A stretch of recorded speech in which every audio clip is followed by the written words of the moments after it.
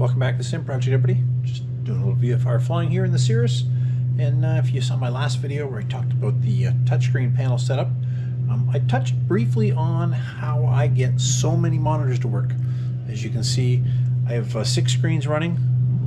So we've got uh, the three primaries for the main outside view.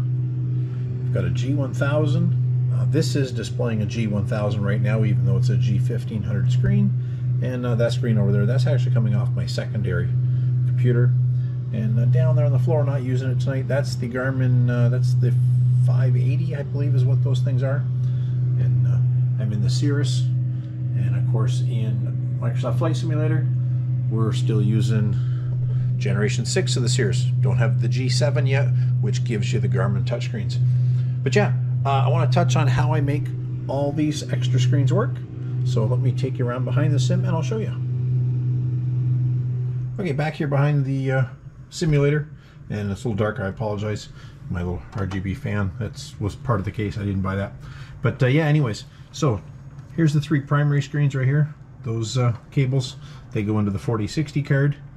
Uh, this one here is off the Garmin touchscreen. It's going to the onboard Intel card. I did turn it back on. Doesn't use a whole lot of resources, and I do have 64 gig of RAM in this computer, so there's a little bit to spare to run that. Very low processing power to run those little touch screens. But the Garmin screens run off this guy right here. This is called a pluggable. I got two HDMI ports, so this is 1080 at uh, 60 hertz, so we can get up to 60 frames a second if we want to. And it is simply USB. Now it needs a USB 3 port, and it's a USB A, but it does come with a USB A to USB C adapter uh, attached to it, um, in case you're using a laptop or anything like that. But yeah, so like I said, it has to be USB 3, and if you don't know, you can tell those on your computer. They're the blue USB ports, and probably can't see this, but this one up here, that's a white port, so that's going to be USB 2, and down in behind there, there's another one next between the network cable and the pluggable cord that's a, a blue USB port, and that's the USB 3. So yeah, that's all it is. That's the box it came in. It's only, you know, three quarters of an inch thick. Uh, I think I paid like 49 bucks on Amazon for it, something like that. Um, I put a link in it, but I'm in Canada, so any links I'm going to give you are for Amazon, you know, Canada, of course. But yeah, pluggable, easy to find, USB, basically USB video card.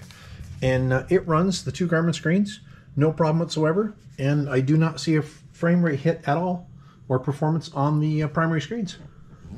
Anyways, that's it. Quick little uh, two minute video on how to run some extra screens, low priority screens, of course, for building your cockpit. Anyways, appreciate it. Thanks for watching, and I'll see you next time.